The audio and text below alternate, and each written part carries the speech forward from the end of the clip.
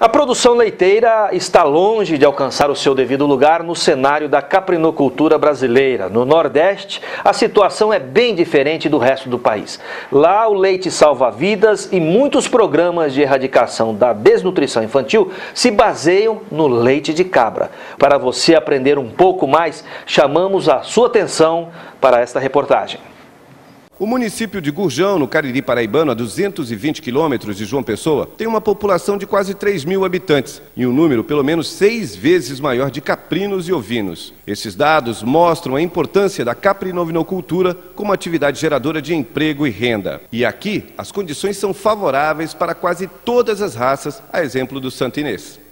O, o bode, de maneira geral, eu ele selecionou essa região nossa, o Cariri, como seu habitat natural.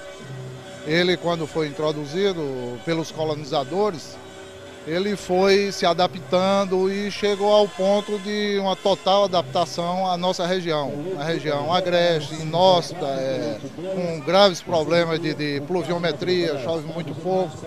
Mas o bode conseguiu, pela uma seleção natural, ele se adaptar à região.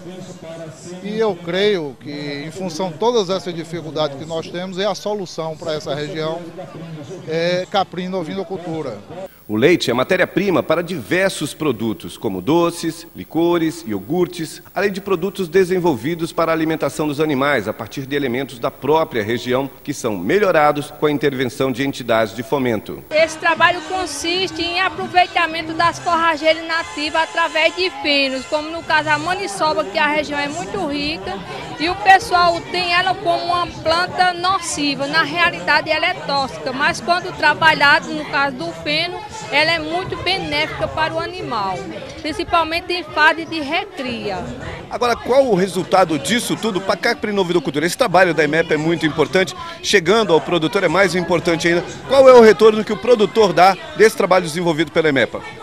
Com certeza, o retorno é bom porque eles são é oferecidos através da capacitação, além de, de forma de dia de campo. Então, o mais interessante é a EMEPA traz o produtor para aprender a, a trabalhar esses produtos. A produção diária de leite em Gurjão é de 700 litros, sendo que 90% da produção tem mercado garantido. Em 2001, 2002, uma cabra custava aqui em Gurjão 50, 60 reais. Hoje está sendo comercializada entre os produtores locais, cabra de 1.500 a 1.800 reais. Isso significa uma, evolução muito grande, porque nossa parte genética melhorou muito e a, nós estamos hoje exportando para vários municípios, para vários estados, cabra de leite saindo aqui de Gujão. E nós já estamos pensando, no próximo ano, é, já fazer um concurso leiteiro a nível nacional.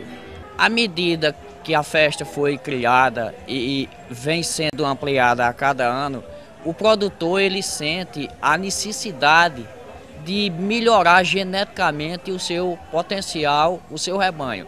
Então alguns produtores tendem a, a a produção leiteira, né? Então eles adquiriram através de, de, de, de financiamento ou não, mas com a conscientização, principalmente saída desse evento, eles adquiriram matrizes e reprodutores de alta qualidade genética e, e aqueles, aqueles produtores que tendem à a, a, a, exploração de carne, eles também procuram fazer, procuram é, procuram fazer aquisição, adquirir animais também voltados para esse perfil.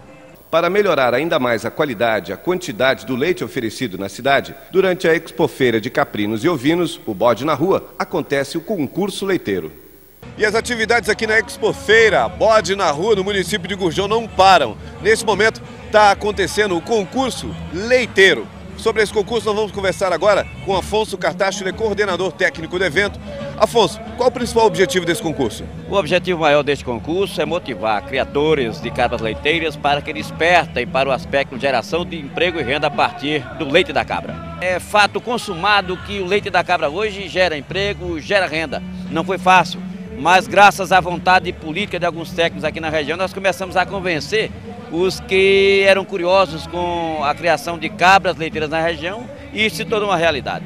O sucesso das ações tem estimulado novos criadores, como Wagner, que atua na produção leiteira há cinco anos. É, desde de, de, pequeno que eu luto com, com a cabra de leite, com a ovelha, com o bode e é, há uns 3, 4 anos eu me tornei um produtor, é, tentei me tornar, é, criar a cabra sozinho e venho tentando melhorar o meu rebanho cada dia. Ok, Wagner, muito obrigado pela sua participação.